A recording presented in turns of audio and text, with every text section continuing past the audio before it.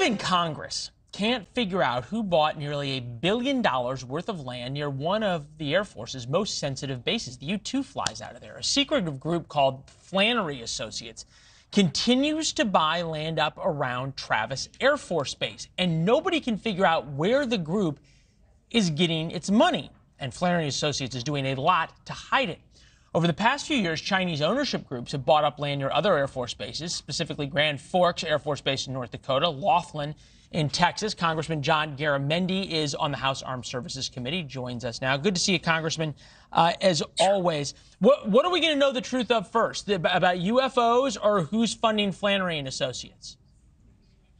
Well, I suspect we'll know more about Flannery. Uh, it's clear that a serious investigation is underway, and they should be. Uh, this just doesn't make any financial sense. It makes no sense uh, for any business, given the uh, multiple, uh, maybe five times, 10 times the normal price of land in this area. So, what's going on here? They have surrounded one of the most important air bases on the West Coast, and this is the way we get to the Pacific. Anything happened uh, in the Pacific with China, this base would be the uh, the way in which the U.S. Air Force and military would transit across the Pacific. Yeah, I don't want to be a conspiracy theorist or anything, but when you look at the map of where they have bought up land, it would not be that hard to hide some surface-to-air missiles uh, in any one of these little little homes or buildings or anything else that they've bought around uh, Travis Air Force Base. Uh, and at the right moment, you'd you'd have low-flying U.S. planes, especially the transports that you could you could take out um, something the U.S. military should never really consider. My question is, how how did we get to this point? We have a map of this. They've already spent 800 million dollars. How did we get to this point without it raising some alarms? Well, we've been uh, raising the alarm for about the last 18 to two months now. Uh, the purchases started slow, and the county uh, didn't pay too much attention. The Air Force Base didn't pay much attention. But now we do know that uh, the base is surrounded on three sides. That's been apparent for uh, nearly, well, almost two years now. Uh, and the 52,000 acres in the area has been purchased. We also know that they're paying substantially more, multiples, sometimes five, in some cases 10 times what land in that area once was sold for.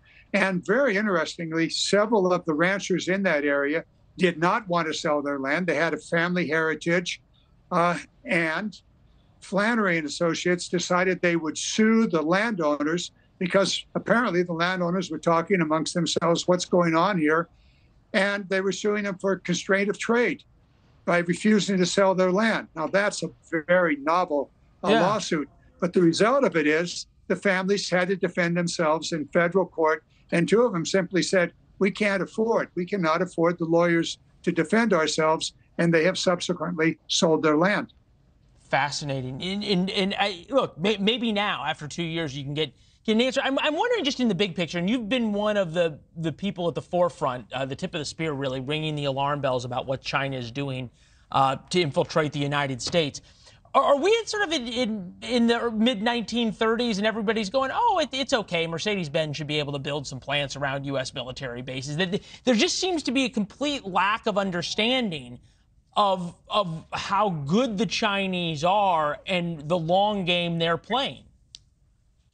Well, certainly they're playing a long game, and certainly they're willing to make extraordinary investments all around the world in what they consider to be strategic locations.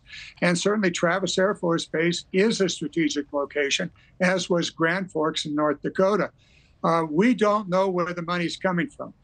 The uh, associates, the LLC says, well, they're all American. Well, that's fine, but show me the money. Where is it coming from? Follow the money. And clearly, by being by owning the land on three sides of this base, right up to the fence, they have positioned Flannery and Associates is positioned to do some nasty stuff at that base. I don't think uh, surface-to-air missiles are what we're talking about here, but clearly listening, disrupting in multiple yeah. ways, all of that is possible, and it doesn't take much. If a strategic airlift is going across the Pacific, if it were to be delayed or somehow canceled, that would be significant problem for the U.S. military on the far western side of the Pacific. And so we need to know. Yeah, also, no, keep in mind that the big internet ties from uh, electrical ties grids from the Columbia River go right through this area, and it is a major wind farm area. In addition to that, there are additional uh, key military facilities, very small communication facilities Con- in this area. Congressman, that I, also I hate to do. I hate to do this, but we got to run. We we had some technical issues earlier, so I have to cut you off. But please come back as you get more information and maybe uh, put put one of these guys uh, with Flannery Associates on the hot seat. Thanks for watching. Go to newsnationnow.com to find News Nation on your television provider, and don't forget to subscribe. Click the red button to get more of News Nation's fact-driven, unbiased coverage.